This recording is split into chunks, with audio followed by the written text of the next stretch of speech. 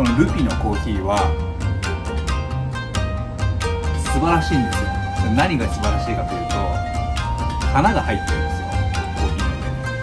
に。これは毎毎回毎回コーヒーを飲む時に花の香りを感じられるっていうとても珍しいコーヒーですでこれをみんなに知ってもらいたいって僕はオランダから思ってます。でとてもいいニュースがフランチャイズを始めなので興味がある方はぜひ連絡してぜひ一度見見てください。